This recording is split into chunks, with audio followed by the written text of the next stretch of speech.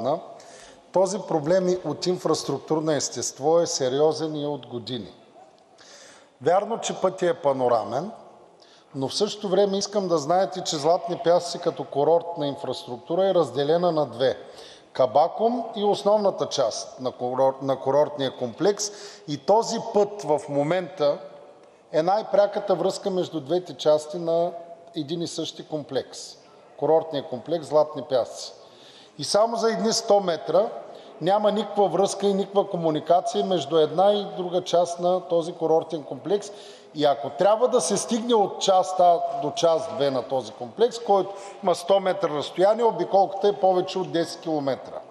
Това създава определен голям дискомфорт за хората, които живеят в другата част на това свлачище, за да достигнат до собствените домове, първо. И второ, има голям риск да се, да се свлечат техните домове.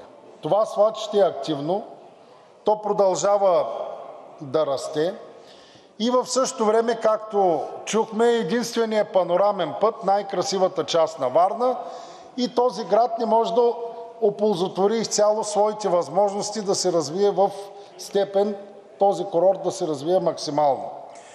А, наистина апелирам, проблема е от години, наистина апелирам колеги от всички парламентарни групи, има от град Варна, и от областта, да се задействаме и да решим този инфраструктурен проблем на града. Град Варна е основният административен център по българското Черноморие, както се казва морска столица на България и не заслужава подобно отношение за най-хубавия курорт около град Варна да няма средства. Този проблем нека да го решим.